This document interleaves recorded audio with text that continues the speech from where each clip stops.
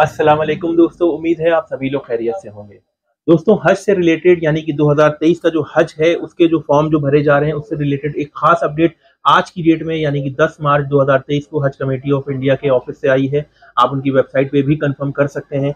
और ये जो खबर है कि अगर आप जो लोग फॉर्म अभी भर नहीं पाए हैं, हज के फॉर्म के एप्लीकेशन को अभी कंप्लीट नहीं कर पाए हैं, यानी कि रजिस्ट्रेशन में अभी भी आपकी इनकम्प्लीट आपका रजिस्ट्रेशन है तो उसके लिए डेट आपको थोड़ा और बढ़ के मिल रही है यानी कि जो 10 मार्च तक की, जो डेट थी अब आज की डेट में 20 मार्च कर दी गई है। 10 दिन का इजाफा हज कमेटी ऑफ़ इंडिया के ऑफ़िस की तरफ़ से कर दिया गया है। तो एक बहुत ही अच्छी खबर है। बहुत से लोगों के लिए परेशानी थी जिन लोगों के फॉर्म कंप्लीट नहीं हो पाए थे कुछ भी किसी भी वजह की वजह से।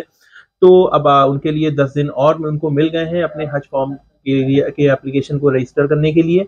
तो एक पॉजिटिव न्यूज़ थी तो आपके साथ में शेयर कर दी गई है। तो उसी लिहाज से आपके जो पासपोर्ट की, जो वैलिडिटी की जो बात होती है तो आपका जो पासपोर्ट है, जो भी पासपोर्ट 20 मार्च 2023 से पहले इशू हो चुके होंगे, यानी कि बहुत से लोगों के पासपोर्ट अंडर प्रोसेस हैं इसी वजह से उन्होंने अभी तक अपना हज का रजिस्ट्रेशन कंप्लीट नहीं कर सके हैं वो। तो अगर 20 मार्च 2023 से पहले अगर उनका पासपोर्ट इशू हो जाता है तो वो इसको अप्लाई कर सकते हैं, हज के जो इस साल जो हज करने जाएँगे इंडिया से।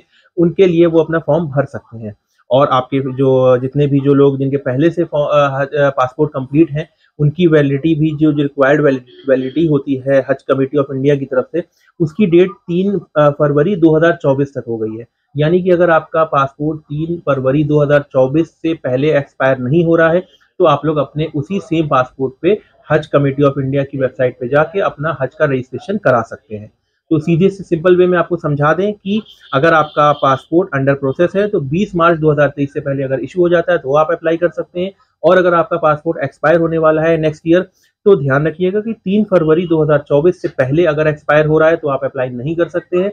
अगर आपका तीन फरवरी 2024 के बाद एक्सपायर हो रहा है तो आप इसी पासपोर्ट पे अप्लाई कर सकते हैं। और रही बात प्राइवेट हज पैकेजेस के कॉस्टिंग की तो अभी जब तक कोटा कंफर्म नहीं होगा कि गवर्नमेंट की तरफ़ से कितना कोटा प्राइवेट ऑपरेटर्स को मिलेगा उसकी कॉस्टिंग अभी कंफर्म नहीं हो सकी है लेकिन हम लोगों की तरफ़ से जैसे ही आ, हमारे पैकेज की कॉस्टिंग का कंफर्मेशन आ जाएगा आपके साथ में ज़रूर शेयर कर देंगे हमारी कंपनी की तरफ़ से इनशाला प्राइवेट हज का भी इंतज़ाम रहेगा इस साल भी तो आप लोग थोड़ा सा वेट करें हालाँकि हम लोग अपने पास पासपोर्ट सबमिट करा रहे हैं जो भी लोग हम लोगों के साथ में जाना चाहते हैं तो जैसे ही इनशाला रेट्स के कंफर्मेशन आ जाएँगे तो वो भी आपके साथ में शेयर कर दिए जाएँगे। बाकी उम्र के पैकेजेस की तो डिटेल्स आपको रेगुलर बेसिस पे मिलती ही रहती है और कोई नई ट्रैवल अपडेट होगी या खास इन्फॉर्मेशन आपके लिए होगी तो ज़रूर शेयर करेंगे और ऐसे ही ट्रैवल अपडेट्स पाते रहने के लिए हमारे चैनल को ज़रूर सब्सक्राइब कर लें।